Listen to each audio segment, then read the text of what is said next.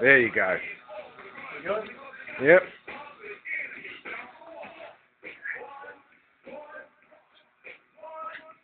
What we're doing right now, for those of you who are interested, 1200 grit wet and dry. This car has received nine coats of clear two-pack lacquer. That is nine coats. Leaves a ridiculous amount of orange it. We have to put that much lacquer on to bury the 20 tablespoons of metal flakes the insane owner of this vehicle wanted on this car. Oh yes. Very, very heavy plate on this car, but we need two more final coats of lacquer on.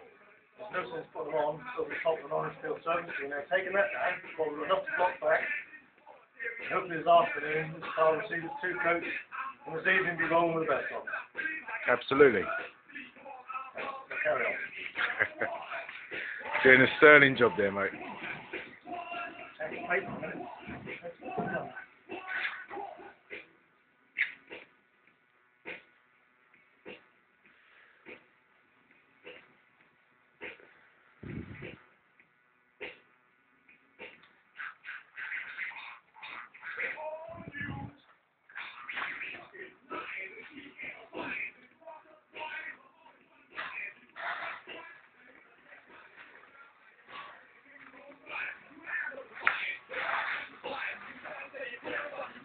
Try and get the full effect of the flight.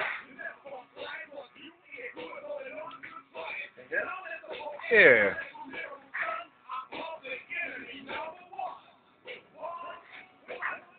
It's alright, close up.